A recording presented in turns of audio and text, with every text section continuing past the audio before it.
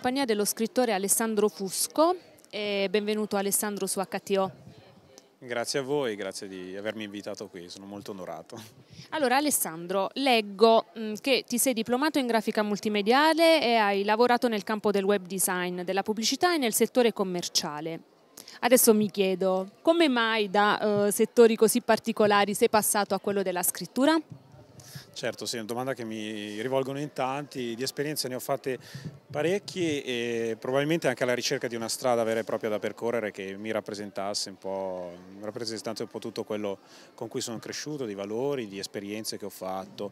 La grafica sicuramente ha influenzato anche questa dimensione nuova per me, la scrittura, tanto che eh, sono l'autore dei miei libri, ma curo molto strettamente anche i rapporti con i grafici che intervengono, che collaborano e ci tengo appunto a, essendo poi nel campo del fantastico, a dare spazio a questo genere di dimensioni. Il, come essere giunti alla scrittura è comunque dovuto al mio piacere per le letture, soprattutto di, da ragazzino, di miti e leggende e, e poi tanti altri generi che effettivamente cerco di far confluire in misura diversa all'interno dei, dei miei racconti, delle mie storie.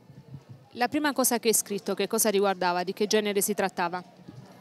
Ma io vengo da alcune esperienze nel campo della poesia, eh, in particolare sì, poesie eh, diciamo autobiografiche, però contemporaneamente ho lavorato alle basi di quella che è la saga eh, con cui sto adesso presentando i miei primi libri e sto anche scrivendo altre cose, eh, quindi in realtà la, la, Sesta Regola, il primo romanzo della saga del Sole di Allora è comunque il primo romanzo per quanto riguarda la narrativa.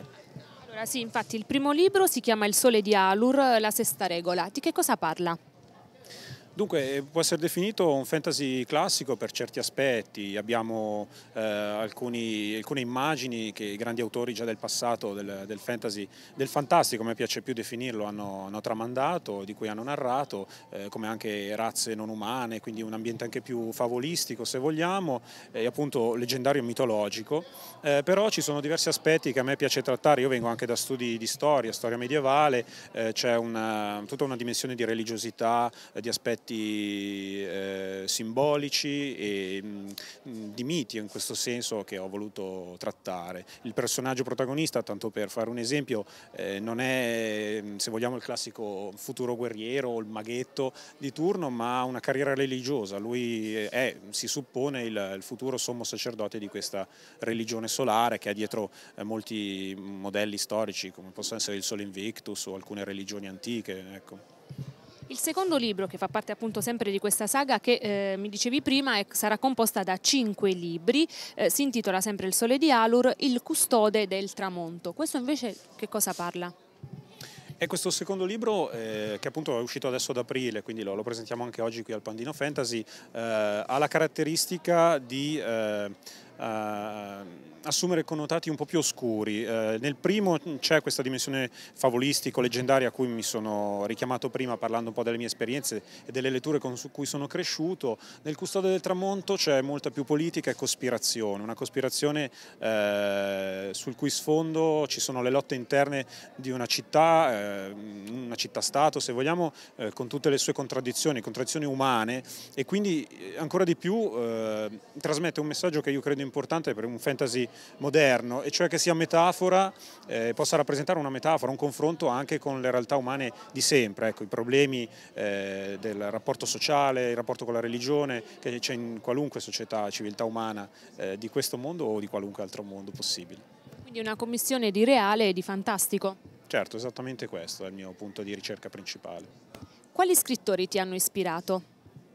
Dunque io come fantasy, restando nel campo del genere per ragazzi, eh, vengo da letture più classiche che altro, come Tolkien. Mi ha colpito sempre tanto in passato David Eddings, che è un autore che secondo me ha dato molto spazio proprio alla dimensione umana, psicologica dei personaggi, più che, ma non solo, in effetti comunque alle gesta eroiche eh, dei personaggi. Eh, in realtà leggo un po' di tutto, soprattutto da quando si dice di poter fare carriera, nel senso di, di, fare questo, tra virgolette, mestiere, perché è importante fare un confronto, secondo me, con qualunque genere di stile, con i grandi autori in tutti quelli che sono i generi di successo e non, e quindi in questo momento posso dirti di aver letto veramente un po' di tutto, vado da Baricco eh, piuttosto che Martin per quanto riguarda il fantasy moderno, eccetera, sarebbe davvero lunga la lista. Un autore del passato che mi ha colpito molto e che dà eh, aiuta, contribuisce forse tra gli altri generi a dare un tono più sull'horror è Lovecraft, sicuramente l'autore americano e i suoi miti di Cthulhu che hanno influenzato alcuni aspetti del mio mondo. Eh, quale libro stai leggendo attualmente? Oh, in questo momento sto leggendo Il principe della nebbia che devo finire di Zafon, che è in realtà il suo primissimo romanzo, conosciuto da pochi ancora, perché lui ha avuto successo poi con eh, storie più adulte che conosciamo, insomma, best seller con cui è conosciuto già in Italia da anni. Naturalmente, insomma, eh, non sei più un esordiente perché hai già scritto due libri e appunto avendo in mente di scrivere, insomma, di formare una saga di cinque libri, quindi stai già scrivendo, immagino, il terzo libro. E, ehm, cosa ne pensi degli scrittori o di coloro che eh, si stanno adesso cimentando magari nella scrittura? Secondo te quali sono le caratteristiche che deve avere un vero scrittore? Nel senso, mm, mi spiego meglio, oggi tutti scrivono, tanti scrivono, ma non tutti riescono a pubblicare. Quindi secondo te eh, per essere definito uno scrittore quali caratteristiche bisogna avere? Sì, è una domanda difficile, nel senso è difficile la realtà della scrittura, soprattutto a livello del, dell'esordiente e anche dell'emergente, quindi anche al mio livello mi rendo conto, di esperienze sono tante quelle che uno dovrebbe fare sicuramente. Io consiglio sempre di affrontare un, un corso di scrittura, scrittura creativa, ce ne possono essere di vario genere anche su internet, in videoconferenza, quindi anche comodi da casa. Eh, si, si, deve, a prescindere da questo, anche da manuali, da una manualistica dedicata, eh, eh, cercare di apprendere alcune tecniche. Proprio perché se c'è un modo per cui eh, ci si deve poi distinguere su tanto che viene scritto, tanto che viene pubblicato ormai anche senza più editore su, su internet gratuitamente o, o, per, o, per, pochi soldi proprio, è la, la, qualità della scrittura, non è più tanto la storia che deve restare ovviamente una ricerca di elementi originali, eh, fare un confronto con storie eh, precedenti ma con trame eh, diciamo così ricostruite con originalità, ma anche un confronto con uh, delle tecniche di scrittura eh, che, diano, che mh, abbiano comunque uno sguardo verso quelli che sono gli stili anche diciamo di moda, ma che in realtà eh, rappresentano proprio l'interesse del pubblico, oggi ad esempio soprattutto per i personaggi e le loro trame, e dall'altro punto di vista però uno stile che poi diventi personale, perché anche fare letture di un certo tipo in modo univoco secondo me rischia di creare ancora dei cloni eh, che siano meno sponsorizzati da una casa editrice, ecco, questo è importante.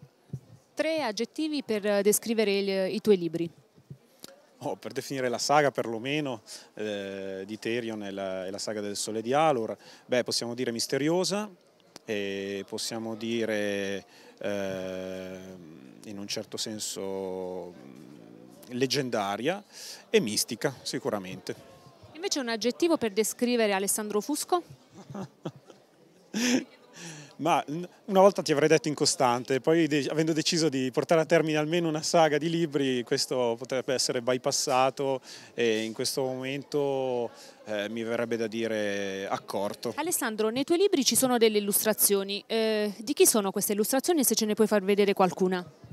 Sì, ne ho portato qualcuna per l'occasione del, del Pandino Fantasy. È un mio collaboratore, ormai amico stretto, che considero una persona molto valida professionalmente e anche come, come insomma, amico. Eh, sono originariamente delle matite, abbiamo deciso di non illustrare mh, quasi esclusivamente insomma, il discorso dei personaggi protagonisti, vorrei lasciare ai lettori più che altro l'immaginazione di immaginare questi personaggi, ma dei momenti e delle scene un po' particolari e momenti cruciali della, della storia. Eh, L'autore si chiama in arte Alexander Edera, è di Verona, lui è un ritrattista, un tatuatore, eh, quindi si destreggia con tecniche classiche soprattutto, per quanto lavori anche a livello digitale e abbia anche lui un suo seguito anche in altri campi multimediali.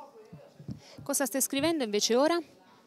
Oh, adesso cioè, certamente devo portare a termine la saga, sto portando a termine il terzo libro che si, si chiamerà Il risveglio dei lupi, e, però in generale sto scrivendo anche altri libri, sono al lavoro su un manoscritto che ho presentato al concorso La Giara qualche edizione fa per la RAI, non è passato alla prima selezione ma vorrei rimetterci mano volentieri perché secondo me ha un bel soggetto, parla di una ragazza che vede il mondo in bianco e nero per un problema congenito della vista, un problema problema reale, esistente, la quale si può dire ha un incontro del destino con un ragazzo che anche egli vede il mondo in bianco e nero, però da un punto di vista filosofico, perché è chiuso in se stesso per tutta una serie di esperienze difficili nel suo passato.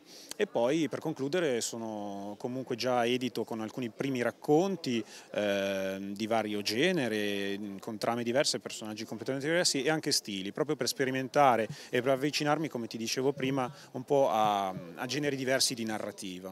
E magari anche per trovare poi alla fine il tuo stile, quindi il tuo genere preferito. Sì, in effetti ci vuole anche questo nell'esperienza degli emergenti, l'importante è, è non fermarsi, sperimentare, provare ogni strada.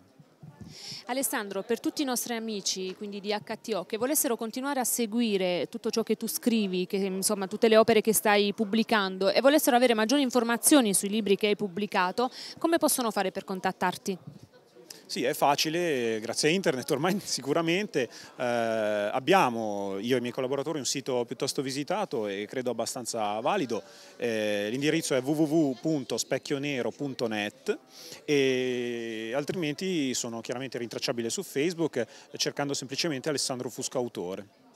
Benissimo, allora l'invito mio e di HTO è quello di eh, leggere questi splendidi libri di Alessandro Fusco, quindi Il Sole di Allur, La Sesta Regola, che è il primo libro che fa parte della saga, mentre il secondo è sempre Il Sole di Allur, Il Custode del Tramonto per il Ciliegio Edizioni.